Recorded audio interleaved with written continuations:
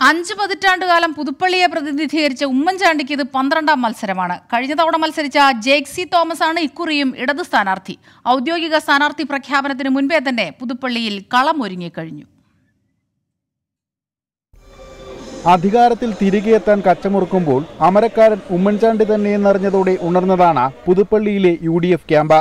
സർക്കാരിനെതിരായ അഴിമതി ആരോപണങ്ങളും അധികാരത്തിലെത്തിയാൽ നടപ്പാക്കുന്ന പദ്ധതികളും വിശദമാക്കി തന്നെയാണ് പുതുപ്പള്ളിയിലെയും വോട്ട് തേടൽ. എന്നാൽ എതിർ സ്ഥാനാർത്ഥിയെ നിസാരക്കാരനായി കാണാനില്ലെന്ന ഉമ്മൻചാണ്ടി.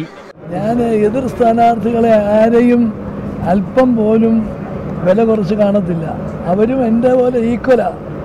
ഞാനും സ്ഥാനാർത്ഥി അവരും സ്ഥാനാർത്ഥി. തിരുത്തലിന്റെ തുടക്കമാണ് തദ്ദേശ തെരഞ്ഞെടുപ്പിൽ പുതുപ്പള്ളിയിൽ കണ്ടതെന്ന ഇടതുമുന്നണി.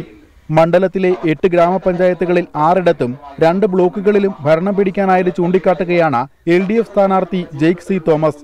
രണ്ട് തരത്തിൽ കേരള ചരിത്രത്തിന് കാതോർക്കുകയാണ്. അതായത് കേരളത്തിന്റെ ചരിത്രത്തിൽ ആദ്യമായി ഇടതുപക്ഷ ഭരണത്തിന്റെ തുടർച്ചയ്ക്ക് കേരളം തയ്യാറെടുക്കുമ്പോൾ അതിന് സംഭാവന നൽകുന്ന അവിസ്മരണീയ സംഭാവന നൽകുന്ന മണ്ണാക്കി പുതുപ്പള്ളിയെ മാറ്റിയെടുക്കാനുള്ള ശ്രമങ്ങളിലാണ് ഈ നാട്ടിലെ ഇടതുപക്ഷ പ്രവർത്തകരാകെ U D F L D F സ്ഥാനാർത്ഥികൾ വോട്ട് തേടൽ ആരംഭിച്ചതിന് പിന്നാലെ സ്ഥാനാർത്ഥി നിർണയത്തിനൊരുങ്ങുകയാണ് എൻ ഡി എ ക്യാമ്പും. മറ്റൊരു മണ്ഡലത്തിലും മറ്റൊരു സ്ഥാനാർത്ഥിക്കുമില്ലാത്ത ആത്മവിശ്വാസവുമായാണ് പുതുപ്പള്ളിയിൽ ഉമ്മൻചാണ്ടിക്കായുള്ള തെരഞ്ഞെടുപ്പ് പ്രവർത്തനങ്ങൾ. എന്നാൽ തദ്ദേശ തെരഞ്ഞെടുപ്പിലെ നേട്ടം ആവർത്തിക്കാനാകുമെന്നാണ് ഇടത് പ്രതീക്ഷ. പുതുപ്പള്ളിയിൽ നിന്നും cameraman Manish V എസിനൊപ്പം C G Diljith twenty four.